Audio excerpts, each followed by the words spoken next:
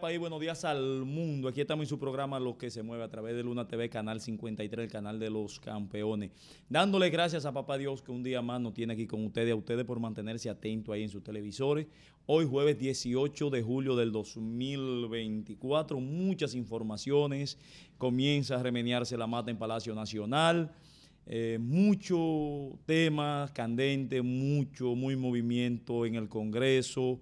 Eh, un día totalmente cargado de informaciones, pero primeramente pedirle a ustedes que se suscriban a toda la plataforma de Luna TV, canal, este canal 53, que es el canal de ustedes, porque todo lo que trabajamos aquí para ustedes, desde farándula, deporte, todos los temas políticos, de interés, noticioso, están aquí en Luna TV, canal 53, canal de los campeones.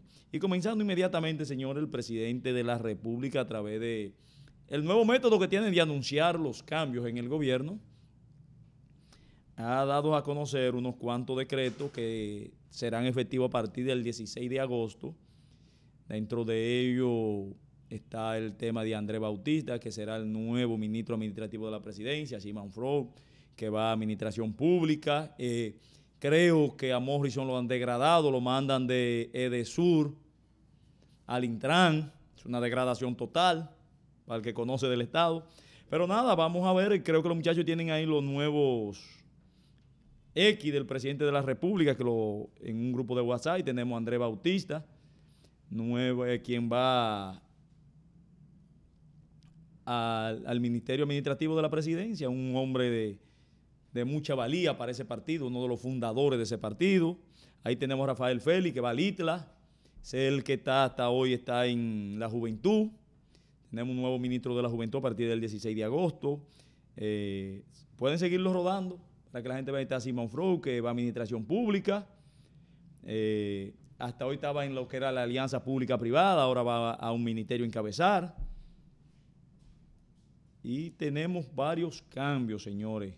Varios cambios. Como le dije, creo que el tema... Ahí está Morrison, señores. Milton Morrison, que pasa de, de sur al Intran. Creo que lo han degradado, que el presidente le dijo, tú no funcionaste en Edesur, vamos a buscar, este a Carlos Bardés, ese será el nuevo ministro de la Juventud, eh, este no le conocemos, pero vamos a esperar que haga un buen trabajo. Y seguimos, señores, tenemos más cambios. El presidente comenzó, esperemos ver nuevamente. Bueno, ahí está Porchela, quien va, pasa ahora a la Junta de Aviación Civil, será el nuevo presidente de la Junta de Aviación Civil. Y el que estaba en aviación civil, señores, se va como cónsul en Madrid, España. Eh, Marto Piantini, Marti Piantini se va a España, señores, a Madrid, España, como nuevo cónsul. Ahí tenemos a Igor Rodríguez, que será el director del Instituto Dominicano de Aviación Civil. Ese era el que estaba sustituyendo a Paliza cuando salió del Ministerio Administrativo de la Presidencia y ahora pasa a la aviación civil, porque el nuevo ministro ya vimos que va a ser nada más y nada menos que Andrés Bautista, señor, un hombre que goza de mucho respeto de todos nosotros. Tenemos los cambios, vimos que el presidente comenzó, pero hay que destacar algo, señores, que estos cambios se están anunciando, pero que serán efectivos a partir del 16 de agosto. Estos serán para la nueva gestión del presidente, para el nuevo cuatrenio.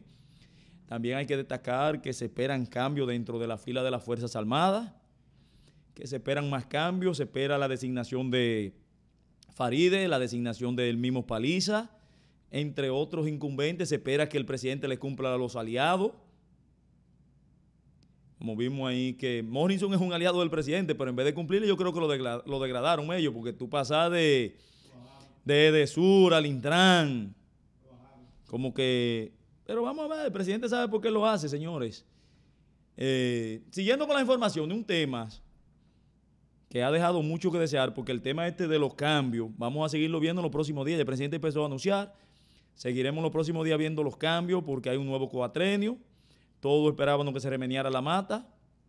Eh, hay dos temas ahí que no sabemos dónde el presidente lo va a designar, que Guido Gómez Mazara y Ramón Alburquerque, pero ambos se dicen que tienen un decreto en la mano. Vamos a esperar que el tiempo se desarrolle, pero lo que ha generado mucho, señores, es el Código Penal. Eh, los congresistas ayer tuvieron, eh, finalizaron lo que eran las vistas públicas, la comisión, y ha dejado mucho que hablar, pero de toda manera, hoy a las 11 de la mañana el código va a ser sometido ante la Cámara de Diputados. Tiene 143 observaciones, se le hicieron, hay gente que tronaron, eh, casi todos dicen que es un código que retrocediendo en vez de adelantar que estamos, pero vamos a ver, eh, un grupo de mujeres y de la comunidad LGBT se apostaron frente al Palacio Nacional, señores, pidiendo protestando contra este código. Vamos a ver si tenemos las imágenes por ahí. Protestando en contra.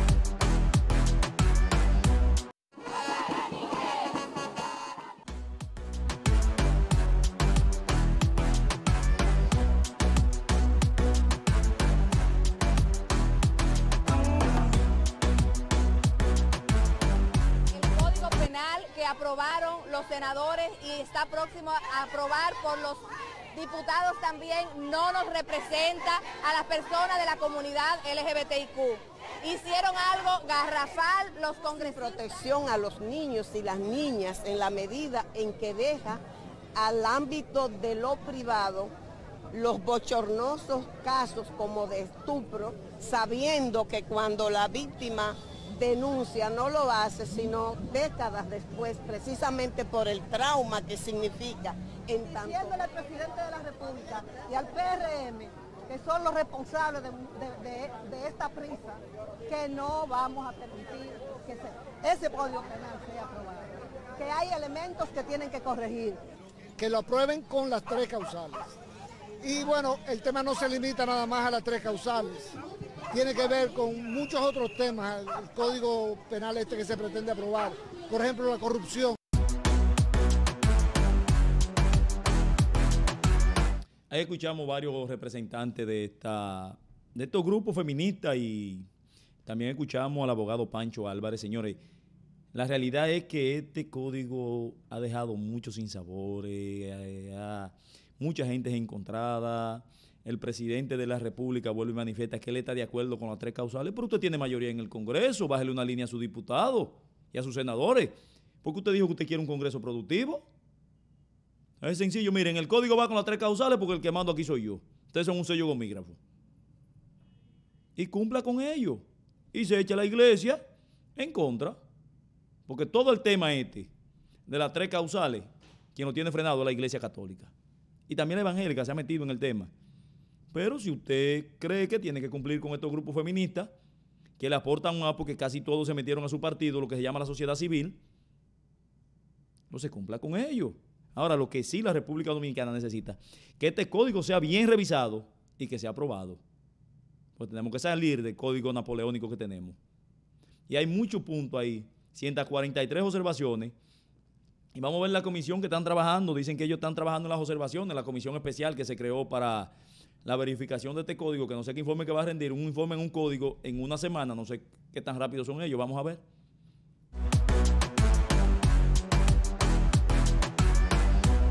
Pero ahora mismo estamos en el estudio de las propuestas que escuchamos en la vista pública, de las tres iniciativas de las que estamos apoderadas y de instituciones tanto como la Procuraduría y la Policía que nos han pedido que temas muy importantes que ellos entienden, nosotros debemos da- analizarlo y eso está haciendo la comisión. esperar que la pieza venga nueva vez si es que ellos lo modifican al Senado de la República y ahí estudiaremos las modificaciones que ellos hayan hecho y si las encontramos eh, que son atinadas, pues le daremos salida. Nosotros estamos en el mejor, án- en el mejor ánimo de revisar lo que haya que revisar. lo vamos a reiterar en el día de hoy cuando si se pone el tema en la agenda porque habíamos pedido una extensión de plazo. lo que nosotros prevemos que va a volver al Senado de la República porque hay asuntos que ya hemos podido detectar que tienen que ser corregidos.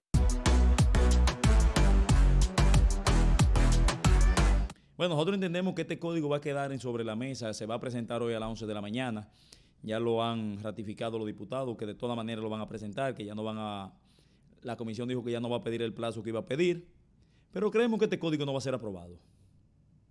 Tiene demasiado conflicto, la misma comisión está encontrada, tiene idea encontrada y sabemos que no hay un ambiente para aprobar este código ahora. Tenemos que en la nueva legislatura que comienza el 16 de agosto, donde el presidente de la República dijo que va a someter la modificación constitucional el mismo 16 de agosto, el PRM no tiene excusa ninguna, como no la tuvo el PLD en su momento, porque el, el PLD habla hoy sin excusa ninguna. Tuvieron todo a su favor para aprobar un código. Hoy el PRM tiene todo a su favor para aprobar un código. No hay excusa. Y la doble moral vamos a soltarla, vamos a dejarla. Porque todo esto es, todo esto encontronazo es que tenemos que cumplir o con la iglesia católica y evangélica o cumplir con los grupos feministas que de feminismo no tienen nada. Y que la mayoría han trabajado en contra de la mujer, para que ustedes sepan eso. La mayoría de los llamados grupos feministas trabajan en contra de las mujeres. Entonces yo creo que aquí hay que buscar una solución. Y creo que lo más factible de las tres causales, señores, que está en la Constitución, vamos a hacer un referéndum. Referéndum aprobatorio, ahí se decide todo. Si el pueblo quiere las tres causales, lo va a decidir. Si el pueblo está en contra de las tres causales, igual. Pero que el pueblo se prese. Ahí hubieron una vista pública, señores, que eso da pena, que haya gente que la quieran poner de relajo de esta manera.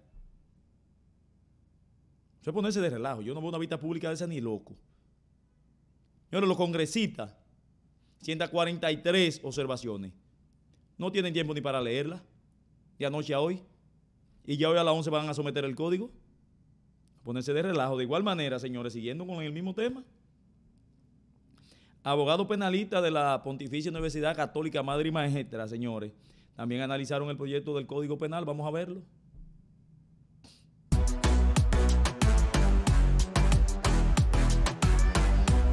No es posible que un código penal contenga penas de 60 años para los ciudadanos y ciudadanas sin una justificación. Eso se traduce desde mi óptica en condenar a los ciudadanos y ciudadanas a pena de muerte. Y en la República Dominicana eso está totalmente prohibido. De la misma forma, estoy a favor de que dentro de las eximentes del aborto las tres causales estén incluidas. Si se aprueba, debe ser discutida seguido en la próxima legislatura para tratar de incluir leyes que vengan a modificar ese código y mejoren las cosas que quizá por la rapidez en la que se aprobó no se, no se pudieron y que todos estos eh, artículos que han generado debate sean eh, debidamente ponderados. Sabemos que hay diversas posiciones, diversos fundamentos, hay un conflicto entre la ciencia, la fe y el derecho. Hacer propuestas de mejoras, pero también mostrarle a la ciudadanía en sentido general y a la comunidad jurídica también em, nuevos tipos penales e informaciones que contiene el código que muchas veces no se conocen porque otros temas acaparan la atención pública.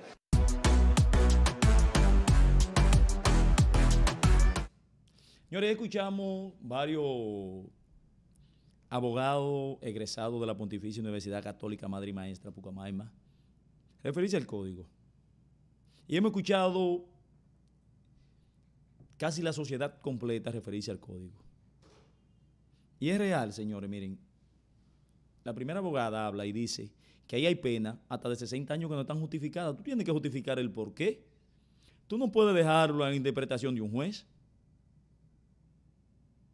Y hay delitos que ameritan más de 60 años, pero tenemos que saber cuáles delitos son. Y tenemos que revisar muchas cosas. Y creemos que en ningún momento ha estado el ánimo de que este código se apruebe. Y es verdad, y hay temas que en vez de ser un avance, serían un retroceso. Vamos a volver a la era de la caverna, a la prehistoria. Señores, no es posible que hoy, cuando hablamos de transparencia, de cero impunidad, tú me digas a mí que el delito del que le roba al Estado perime en 20 años. Eso no tiene que perimir. Si a usted se le comprobó que usted robó, no importa el tiempo que sea, usted robó. Si se le comprueba, no la persecución política. Y un partido que se dice ser un partido que tiene compromiso con la transparencia, como dice el PRM, que es el partido más transparente, creo que no debe de jugar a esto.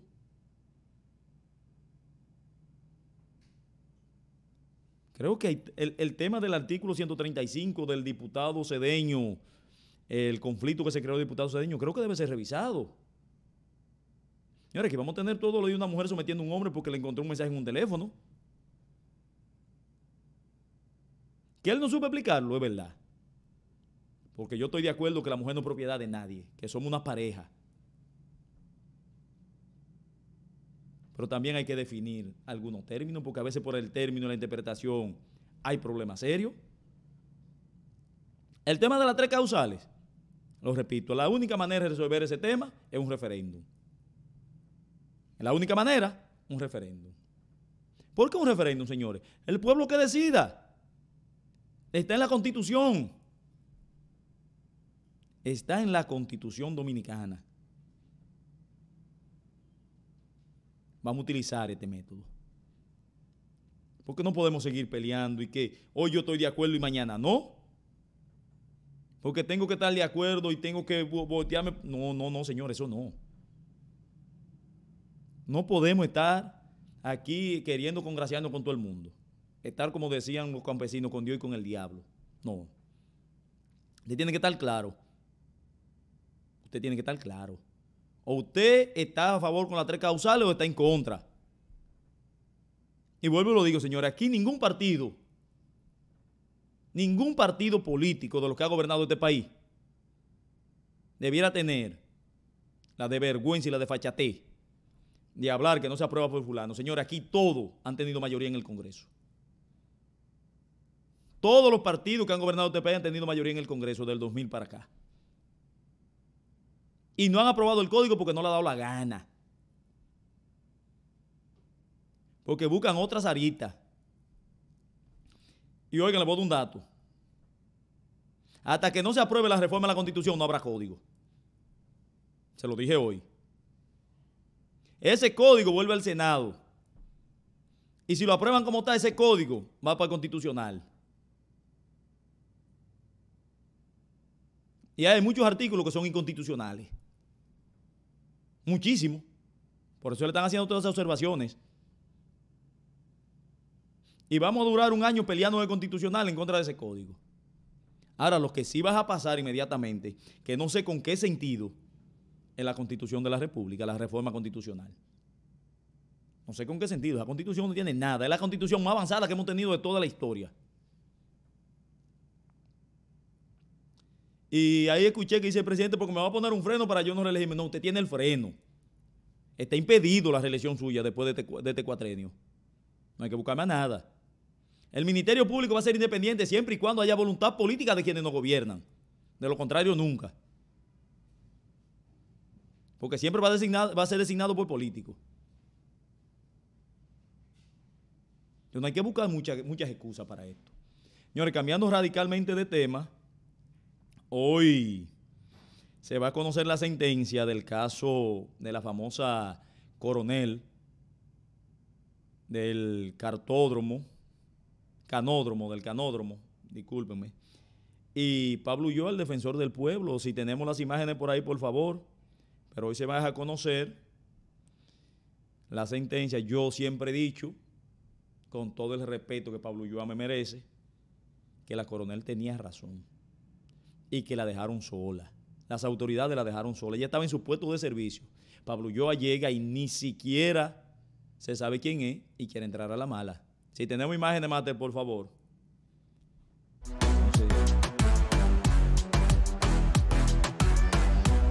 Que yo espero que se haga justicia, solamente eso. Eh, bueno, lo primero es que yo creo en Dios y en la justicia dominicana. Yo me considero inocente porque yo no hice nada. Tenemos dos años y algo en este proceso, esperando en Dios que todo pase. Que el tribunal valore los elementos de prueba que serán depositados, más de seis, siete testigos, pruebas documentales, periciales y audiovisuales, y que de esa ponderación salga la condena que se ha solicitado.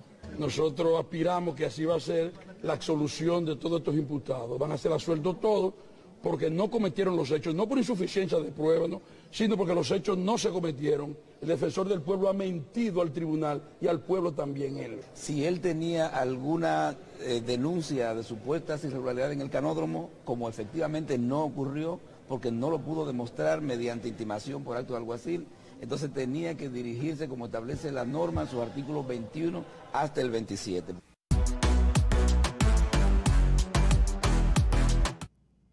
Creo que también tenemos la coronel por ahí, eh, Máster. Si la tenemos, por favor, colócala. Eh, donde ella se defiende, señores. Ella defiende en los tribunales y tiene razón. Y creo que las autoridades la han dejado totalmente sola.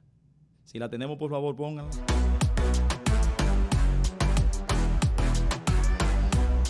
Si es o verdad. Si es verdad o mira que yo estoy eh, faltando la respeto a ese ciudadano, pero tampoco votar en ese proceso. Violaron todas las normas simplemente porque el señor defensor del pueblo, llevándose, yo no digo que esa persona cogió dinero, como lo dijo el ciudadano, el ciudadano de las agencias, que dijo, yo pagué muy caro. Primero pagué el listín para que publiquen la, como me dijo, para que publiquen para que publiquen la, página un miércoles y ya un lunes al otro, al otro, el próximo lunes, ya el defensor del pueblo se tiró allá con toda la prueba. La prueba que tenía era lo que publicó el listín. Esa era la prueba. Entonces yo me da vergüenza ajena que nosotros como autoridades nos prestemos este tipo de cosas sin indagar las cosas, sin antes hacer los procesos que se deben llevar a cabo, simplemente por, porque es una persona. Porque de verdad se lo digo, me da vergüenza ajena eso. Y yo espero que sea justicia. Marisol Vargas. Si, el, si la motocicleta estaba en el lugar o no estaba, verificaban a través del sistema.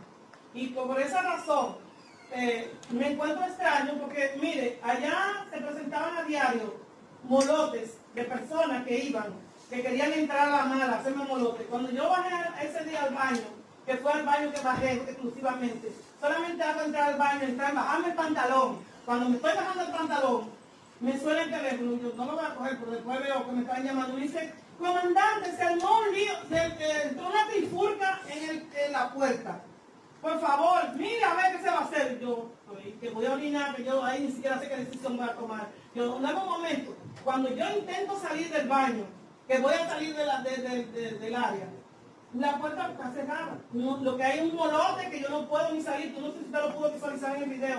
Que yo salí después de todo ese molote, todo ese acontecimiento que dicen que fue por mi provocación. Objeción magistrada. No, yo no, Oiga, toda esa provocación. Me dan un momentico todas las partes. Sé por dónde va el Ministerio Público, el tribunal le va a permitir que haga su manifestación. Puede continuar. Mire, cuando ya yo veo que me dicen, ay, una, una huelga, a mí me habían hecho muchas manifestaciones, gente quemándome goma, entrando ahí por el hecho de que yo soy una mujer. Y mi personal que estaba ahí, que era casi todo femenino, porque la mayoría del personal que, que, hoy en día parece involucrado, ni siquiera trabajaba en esa área, trabajaban en, en los talleres, en diferentes áreas, ni siquiera conmigo trabajaban. Que acudieron a ver el molote, el escándalo que había, no fue porque ni siquiera yo le llamé, porque yo estoy en un baño, sentada orinando, que ni siquiera pude orinar bien. Tuve que salir, oiga, salir corriendo, y yo dije, Dios mío, ya se me quedó, porque yo temía, porque a mí me habían avisado inclusive, me habían dicho, comandante, no se vaya tarde de aquí, de este lugar, porque la van a matar. Me van a matar, yo sé quién me quería matar. Ahí había un conglomerado que, como lo dijo el coronel, que yo no sé, eh, en, mi, en mi convicción de policía que soy, no sé cómo el defensor del pueblo tiene esa especie de seguridad que él tiene. Porque se supone que la seguridad de una autoridad debe sobre, no sé, sobreprotegerlo en todos los sentidos. Y él sabe que va por recinto militar. O sea, en la forma que ellos entraron. Él ni siquiera puede... Señores, José Mota Coronel, como ya se defiende, tiene todo el derecho a defenderse. Yo vuelvo y repito que creo que las autoridades la dejaron sola, ya estaba en su puesto de servicio, pero nada, esto es República Dominicana. Señores, otro lío que se armó, un tremendo lío, fue en el metro de Santo Domingo entre haitianos y la seguridad de la estación del metro. Vamos a ver, señores, esto está manga por hombro.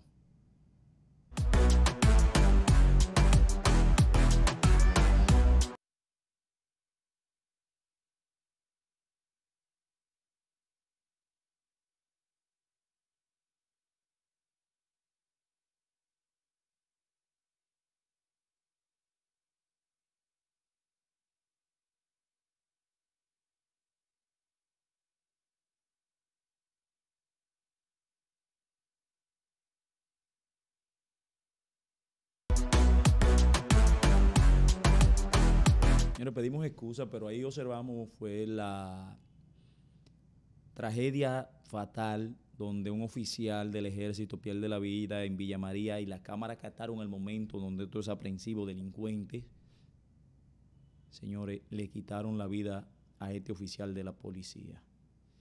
Eh, quedó grabado en cámara, esperemos que las autoridades den una respuesta satisfactoria. Y antes de irnos a la pausa, ahora sí vamos a ver lo que el tremendo lío que se armó en Santo Domingo ahí entre haitianos y la seguridad del metro de Santo Domingo, por favor, y nos vamos a la pausa.